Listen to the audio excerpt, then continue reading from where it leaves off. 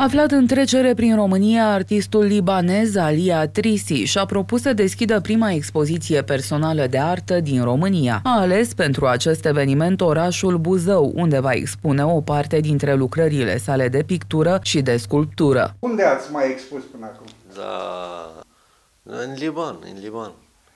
Uh, Ce faceți anume? Numai pictați sau mai faceți și altceva?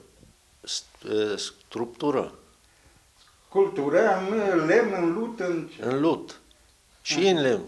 Alia Trisi nu are studii superioare de arte plastice. Harul său este natural, iar tehnica de lucru a fost aprofundată în timp.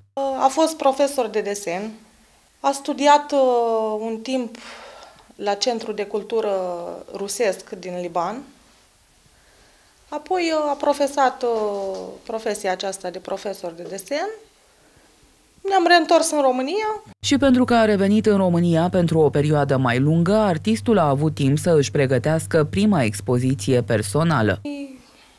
o persoană foarte sensibilă, îi place foarte mult să lucreze, să fie singur când lucrează. Um, De asemenea, dacă își pune ceva în minte, reușește. Sunt sigură de asta.